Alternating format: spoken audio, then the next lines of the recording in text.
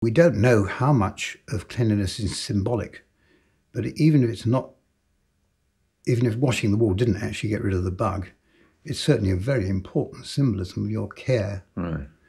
And um, there were two elements to that. One is I realized that it's probably not true of the modern generation managers, but those early managerial system people, I realized that it wasn't a thing they thought was up to them, whereas I thought it very much was up to them. And the other thing was changing contracts for ward cleaning. And, um, you know, you had these ward, um, what were they called? Orderlies or whatever. They, anyway, they were part of the staff. And they took the tea round and they knew the patients more than I did because I wasn't there much, and they were in that sense. And, um, you know, Dolly would come and say, you know, Mrs. that sort of stuff. Um, and uh, they were promised their jobs, but within weeks of the contract, they'd got rid of them. And they had perfectly pleasant, nice people. Hmm. But A, they didn't know how to deal with this.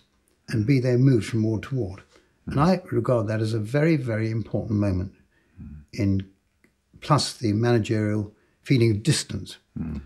I mean, I, I remember what I was going to a meeting in London. And I walked out to go to the tube at Tooting, and the hall was, was filthy. And I rang up to speak to the senior executive, and he was somewhere else. So, and then I had to go to the meeting. I came back and rang again, and I got on to some junior administrator. And the really depressing thing was that he was quite interested in what I said. He wasn't defensive at all. But he obviously didn't think it was what he was doing, part of his hmm. deal. Hmm. Isn't that amazing? Hmm. I mean, a hall of a hospital should be cleaned many times a day, shouldn't it? Absolutely. Hmm.